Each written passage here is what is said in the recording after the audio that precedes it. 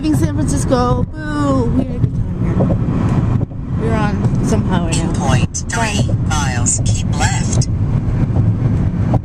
Brian's driving on a California freeway. It's slightly scary, but we're doing alright so far. We got out of the city without any. Oh, dying. Once the GPS decided it had a signal. It took like a week and a week, a week and a half. Seriously. Keep left. I am left.